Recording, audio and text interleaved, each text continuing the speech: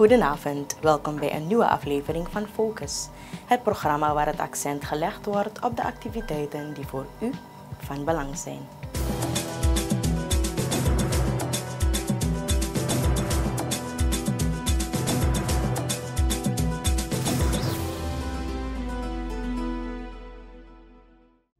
Vandaag in Focus. Regering neemt belangrijke besluiten voor justitie, grondbeleid en sportontwikkeling. Agrarische sector versterkt met modern onderzoekslaboratorium. Presidentieel bezoek aan Aruba en Curaçao moet relaties nieuwe impulsen geven. En huishouden president Santoki als eerste geteld bij start volkstelling.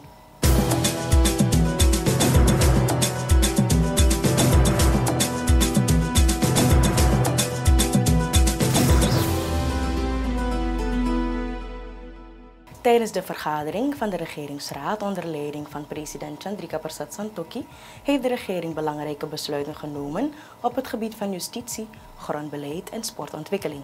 Daarnaast heeft de Surinaamse Vereniging van Journalisten ook een presentatie verzorgd aan de leden van de regering. Aan het ministerie van Justitie en Politie is goedkeuring gegeven voor de uitkering van een eenmalige persoonlijke toelage ter compensatie van het gebruik van burgerkleding over het dienstjaar 2023. Daarnaast heeft de vergadering goedkeuring verleend aan het ministerie van Grondbeleid en Bosbeheer voor grondconversie ten behoeve van 163 burgers die hun grondhuur of erfpachtpercelen wensen te converteren naar eigendom. Tevens heeft de regering financiële middelen beschikbaar gesteld voor het bevorderen van het sportbeleid. De SVJ heeft tijdens hun presentatie enkele zorgpunten en inzichten gedeeld om een positieve werksfeer te bevorderen. De leden hebben aangegeven dat er gewerkt moet worden aan de oprichting van een journalistenraad en het accrediteringsproces van journalisten. De regering heeft verschillende zorgpunten gedeeld, zoals de manier waarop regeringsleden worden benaderd voor interviews en het verspreiden van misinformatie naar de samenleving. Beide partijen zijn verheugd over de ontmoeting en willen samenwerken aan verbetering. Het staatshoofd heeft benadrukt dat de regering in het kader van goed bestuur persvrijheid hoog in het vaandel heeft staan en dat er waar uitdagingen zijn gezamenlijk zal worden gewerkt door deskundigen van zowel de regering als de SVJ om een positieve werksfeer te realiseren. En tot slot heeft president Santoki de zaak met betrekking tot de minister van Binnenlandse Zaken Bronto Somoharjo aangegeven dat de Centrale Landsaccountantsdienst KLAD meer informatie nodig heeft voordat zij kan rapporteren aan het staatshoofd. De regeringsleider heeft benadrukt dat de KLAD de ruimte krijgt om haar taken uit te voeren en dat hij na het onderzoek een definitief besluit zal nemen.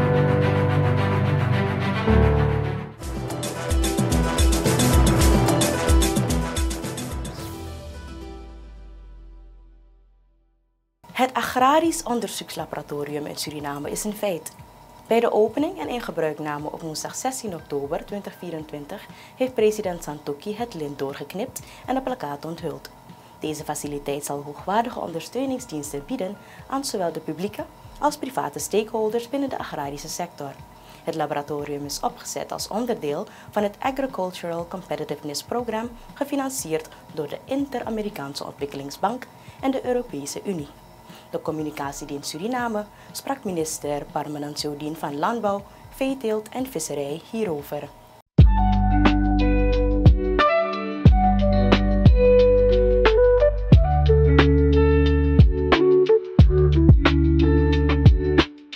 Wij uh, tegenwoordig voedsel leveren. Niet alleen voor de exportmarkt, maar ook voor de lokale markt. Je moet bepaalde standaarden zien te bereiken. En uh, dit lab was eerder al gebouwd, is toen in brand gevlogen. We hebben daarna met moeite weer kunnen opbouwen. Maar het heeft diverse aspecten. Je kunt hier een eh, bodem analyseren op de diverse elementen. Je kunt een, je ziekte en plagen laten analyseren. Kortom, zaken die allemaal nodig zijn om een, de agrarische sector een boost te geven. Maar ook, wat ik eerder zei, de standaarden te halen.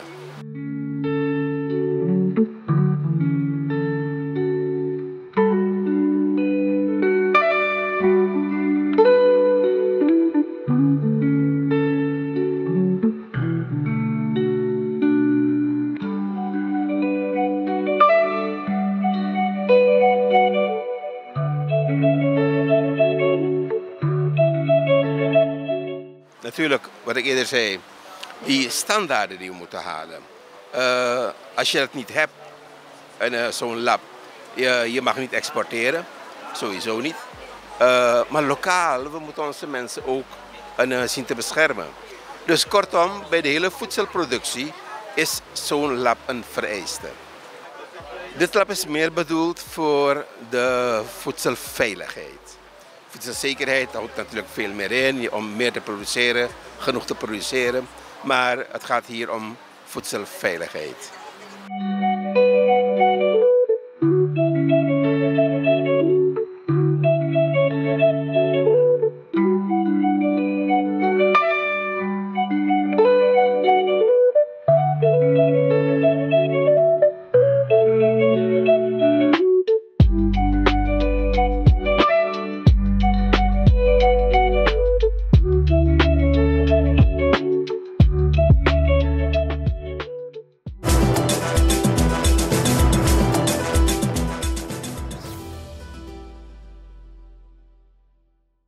Huishouden van president Santokki is als eerste aan bod gekomen tijdens de negende Algemene Volkstelling van Suriname. Het staatshoofd heeft als eerste burger van het land op 14 oktober 2024 samen met First Lady Melissa Santokki Senajri de verschillende vragen die bij de volkstelling horen beantwoord. Hiermee is het officiële startsein gegeven voor de landelijke telling. De rest van de samenleving zal de komende weken eveneens worden geïnterviewd. Joanne Keenswijk, lid van het Census Management Team in Wanica, ligt het toe dat de volkstelling een alomvattend proces is waarin data wordt verzameld, verwerkt en uiteindelijk gepubliceerd. Wij brengen u een herhaling van deze eerder uitgezonden activiteit.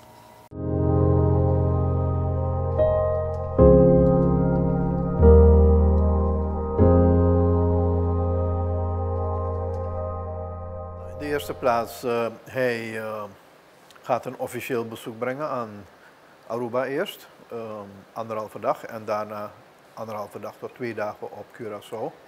Um, dit bezoek is lange tijd in voorbereiding, eigenlijk een beetje, um, het zou eerder plaatsvinden, maar door de schemaproblemen aan beide kanten is het nu dus echt aan de orde.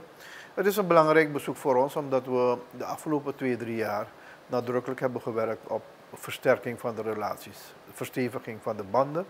Het zijn landen die onderdeel zijn geweest van het Koninkrijk der Nederlanden. Daar zijn we ook onderdeel van geweest uh, voor 75. En dus ook die relatie is nog heel, heel sterk. We hebben ook een hele grote diaspora op, uh, op Aruba en uh, op Curaçao. Um, maar daarnaast zijn er ook handelsbetrekkingen die verder aangekropen moeten worden.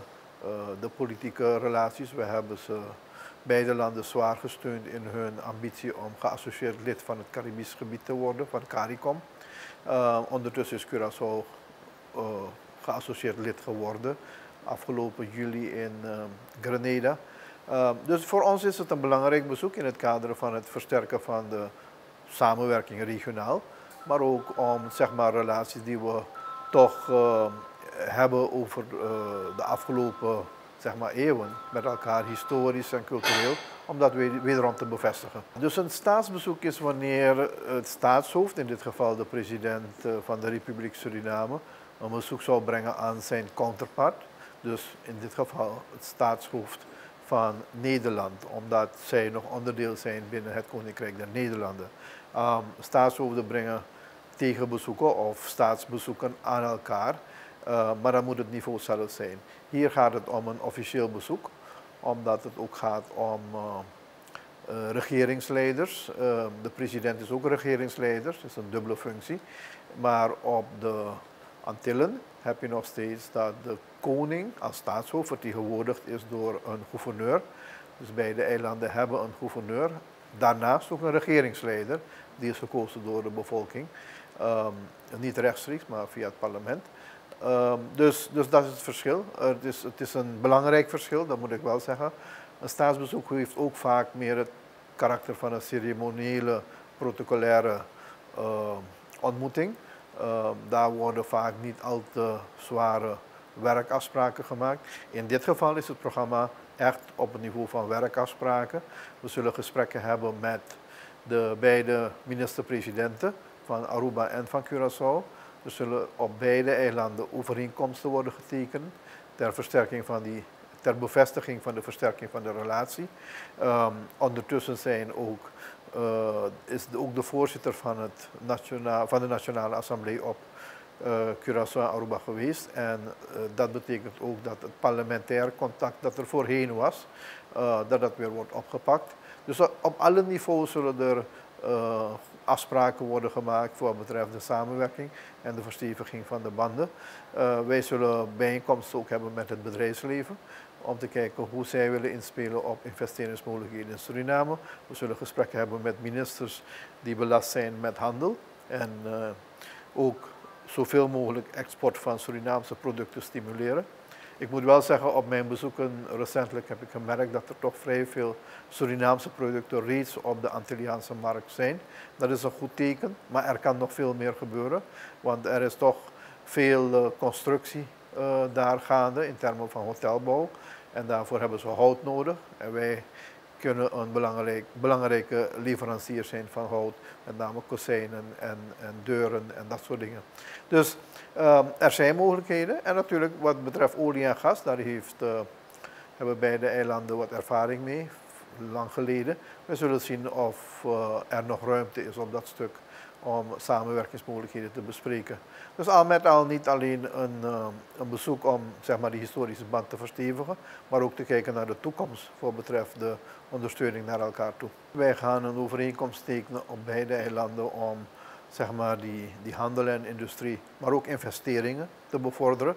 Er zijn banken op Curaçao en Aruba, investeerders en ook banken die mogelijk bereid zijn uh, samen te werken met het Surinaamse bankwezen. Er is reeds uh, een paar jaar geleden contact geweest tussen de banken. Obligatieleningen zijn uitgebracht uh, door staatsolie. Ehm, dus er is, er is mogelijkheid. Er zijn mogelijkheden op het gebied van windenergie. Daar zijn een aantal bedrijven van op, actief in, op Curaçao. Um, maar zeker op het gebied van groente en fruit en vis en zoals ik je eerder zei, hout, zijn er ook handelsmogelijkheden.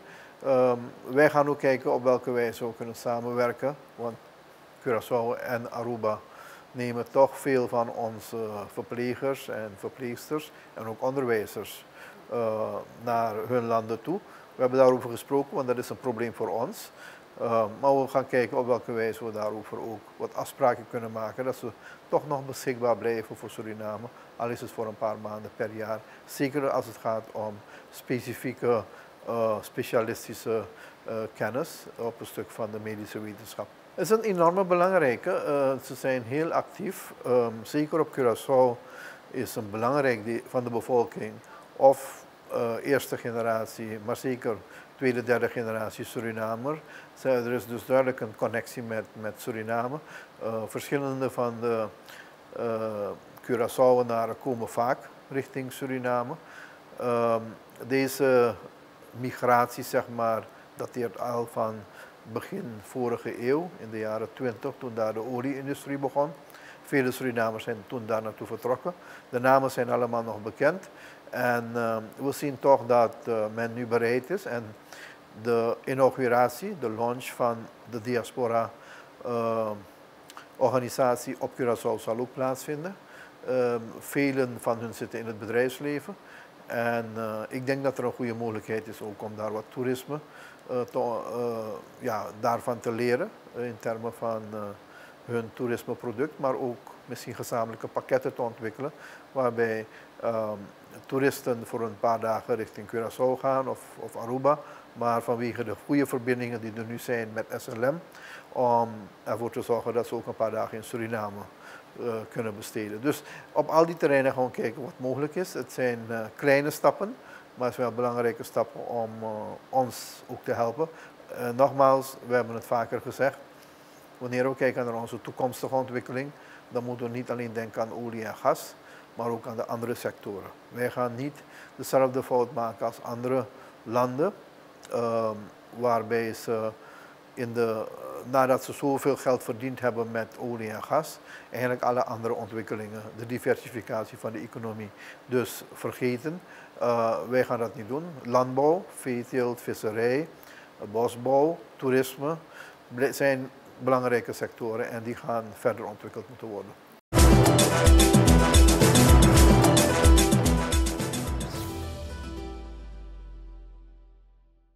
President Chandrika Persat Santokhi brengt zijn eerste officiële bezoek als Surinaam staatshoofd aan Aruba en Curaçao. De regeringsleider vertrekt op maandag 21 oktober aan het hoofd van een presidentiële delegatie, waarbij ook First Lady Melissa Santokhi Senacheri en minister Albert Ramdien van Buitenlandse Zaken, International Business en Internationale Samenwerking deel uitmaken. Het bezoek is een belangrijk moment om de banden tussen Suriname en de eilanden te versterken. Wij brengen u een herhaling van dit vraaggesprek met de Bibesminister uit Focus 1371.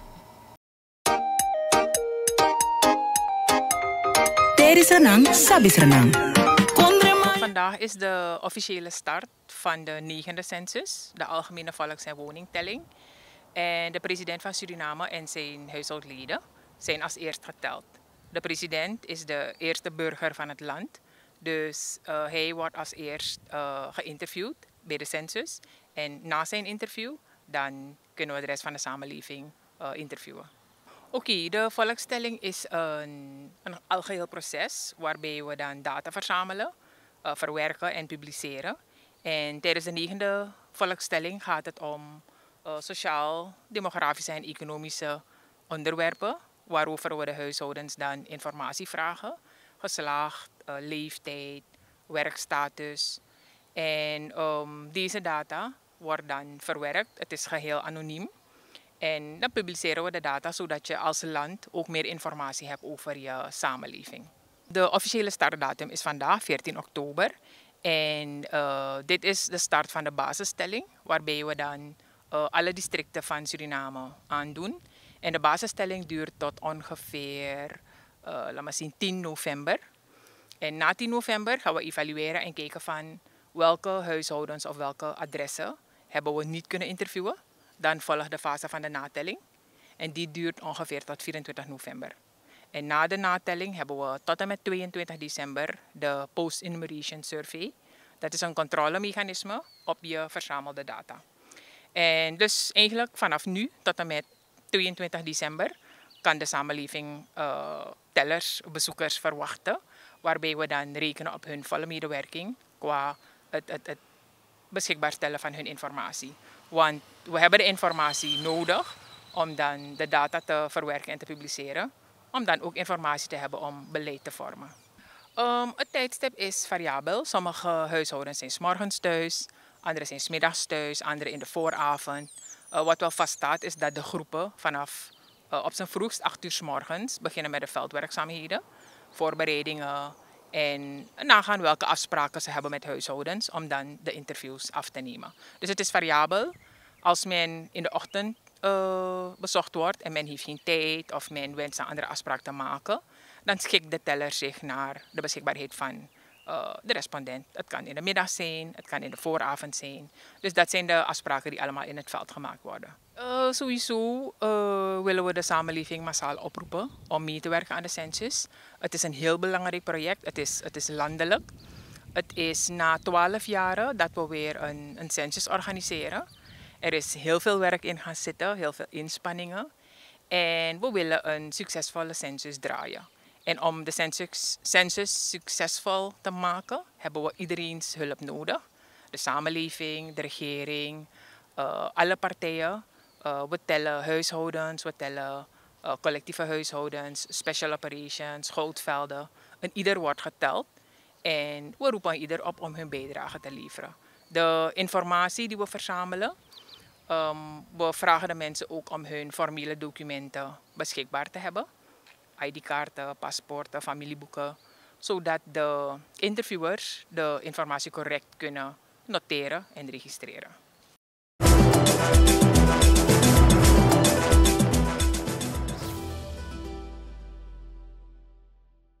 Dit was Focus. Bedankt voor uw aandacht. Goedenavond.